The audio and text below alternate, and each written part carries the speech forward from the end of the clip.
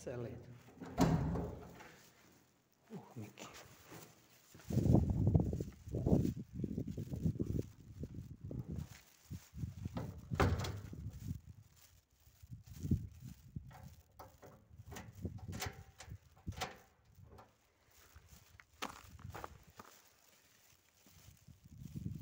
Thank é?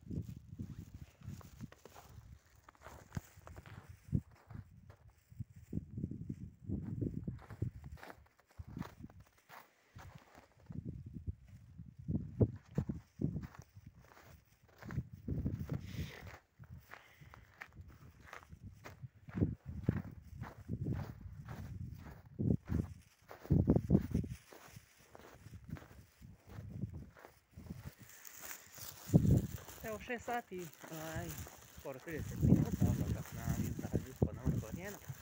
Jako, jako hladno, minus 5 stepeni, hlad, znači vjetar, prevoju.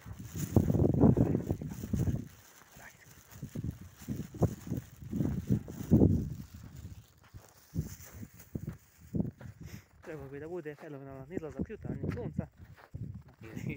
Ili sam izlazak sunca bit će predivan čisti horizont, malo blago vjetrovito.